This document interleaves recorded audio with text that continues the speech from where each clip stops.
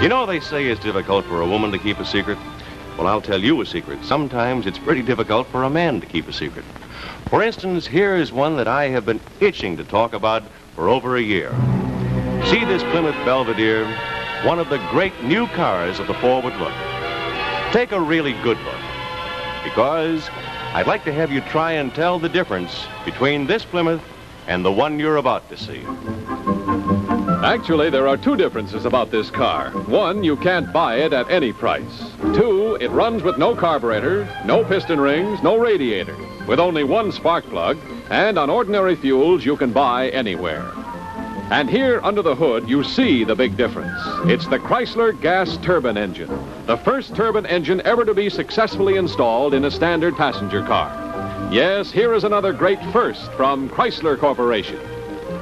More than 200 pounds lighter than a conventional engine of similar power, it has less than one-fifth as many moving parts. Developed by Chrysler Corporation to power a regular production model, you can hardly pick it out from other Plymouths, unless you happen to spot the special insignia that tells you there's a revolutionary engine under that hood. The horsepower it develops is 120, However, the driving power it delivers to the wheels equals that of a 160 horsepower conventional engine. As for fuel economy, it is comparable to any 120 horsepower car engine today. What's more, a gas turbine engine will run on anything from gasoline to heavy fuel oil. This car has no radiator. Its engine is air-cooled, therefore never needs water. Other attempts to design a practical turbine engine resulted in extremely hot, burning exhaust gases.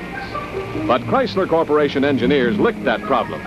The exhaust temperature is cooler than that of the average car today. You can hold your hand over this exhaust pipe and not get burned. The Turbine Special is just one of many research projects in progress at Chrysler Corporation. And as each new advance is perfected, it will be made available to you to keep you ahead in car performance, in safety, and in styling.